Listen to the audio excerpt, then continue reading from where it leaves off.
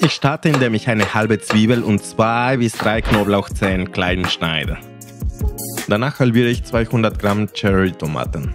Wenn ich damit fertig bin, hole ich mir den Mixer und gebe 125 ml passierte Tomaten, 125 ml Sahne sowie 100 Gramm Doppelrahmkäse in den Glas.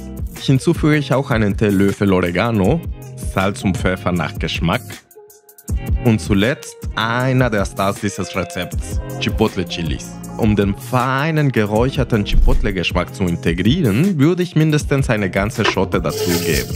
Danach kannst du alles mixen, bis eine cremige Flüssigkeit entsteht. Man könnte diese Zutaten einfach später in die Pfanne dazugeben, aber ich mag, wenn die Chipotles gleichmäßig in die Soße eingearbeitet sind und so muss auch der Käse nicht erstmals auf der Pfanne mit den Garnelen sich auflösen. Sobald wir das erledigt haben, bringen wir einen großen Topf mit Wasser zum Kochen und schauen, wie lange die Pasta kochen muss. Ich mache heute Spaghetti und die brauchen 10 Minuten, um al dente zu sein. Ich brauche ungefähr dasselbe für die Soße und ich kann euch nur davon abraten, Öl ins Pastawasser zu geben, damit sie nicht klebt.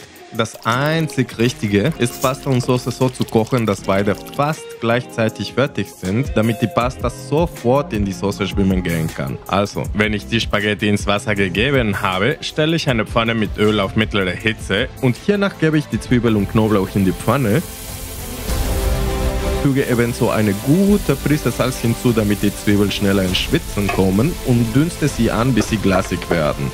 Jetzt drehe ich die Hitze hoch auf mittelstark und brate die Garnelen zusammen mit den Kirschtomaten an. Hier musst du extrem aufpassen, die Garnelen nicht zu lange anzubraten. Nach ungefähr zwei bis maximal drei Minuten sollten sie schon fertig sein. Dann können wir die Soße in die Pfanne gießen und wenn sie anfängt zu blubbern, drehen wir die Hitze etwas runter, schmecken mit Salz und Pfeffer nochmal ab und lassen alle Aromen sich noch ein bisschen integrieren, während wir schauen, was wir Spaghetti machen. Etwa 10 Minuten sind vergangen und sie sind genau richtig.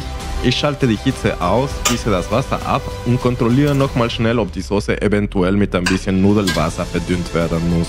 Ist ja nicht der Fall, also mische ich sofort die Spaghetti mit der Soße in dem Topf.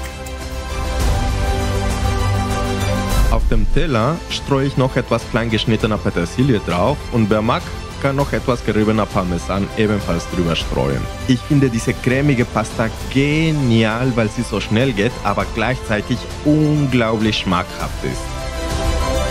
Einige mögen aber keine scharfen Noten in einer Sahnesoße für Pasta. Wenn das bei dir der Fall ist, habe ich für dich eine Schinken-Sahnesoße im Video auf der linken Seite, die ich nur als phänomenal beschreiben kann.